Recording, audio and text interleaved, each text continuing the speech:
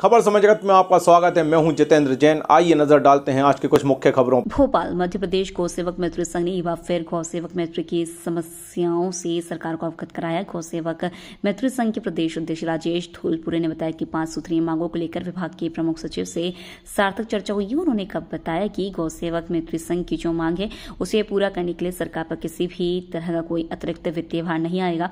उन्होंने बताया कि प्रमुख रूप से बहुउद्देशीय पशु स्वास्थ्य कार्यकर्ता योजना लागू करने और जो 20 वर्षों से गौ सेवक मित्री में सेवा दे रहे हैं। ऐसे गौ सेवक मित्री को विभाग चतुर्थ श्रेणी की भर्ती में आयु सीमा में छूट देकर इन्हें प्राथमिकता दे, जिस पर सहमति बनी है। और प्रमुख सचिव ने आश्वासन दिया है कि इन मांगों पर गंभीरता से लेते हुए इनका निराकरण किया जाएगा। वहीं जो अन्य मांगे इनके निराकरण के लिए भी शासन स्तर पर विचार कर निराकरण किया जाएगा। राजेश धोलपुरी ने कहा कि पंचायत स्तर पर कृत्रिम गर्भाधान, टीकाकरण का कार्य और अन्य विभागीय कार्य गो सेवक मित्र से कराया जाए, जिससे विभाग में सही आंकड़ा पहुँच सके। राजेश धोलपुरी ने बताया कि विभाग के मंत्री से भी इन मांगों के संबंध में चर्चा हुई और जल्द ही इनके निराकरण को लेकर सरकार ने प्रयास किया तो मध्य प्रदेश गौ सेवक मैत्री संघ अगली रणनीति बनाएगा।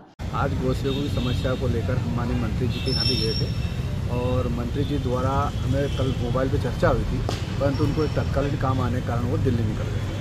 उसके बाद हमने पी से पी एस महोदय से भी चर्चा करी कि जो हमारी मांग है, वो बगैर वित्त है इस पर सरकार पे कोई प्रभाव नहीं जाएगा।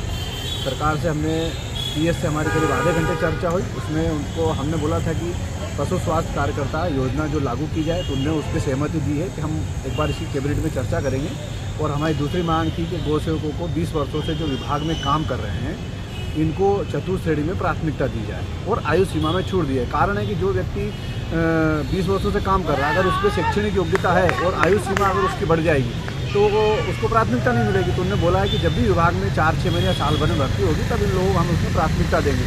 और अन्य भी कुछ मांगों पर हमने चर्चा की थी कि इनको एक नियमित मानदेय दिया है तो उन्होंने बोला कि ये मामला शासन स्तर का है परंतु हाँ हम आपकी दो मांग ज़रूर मानेंगे।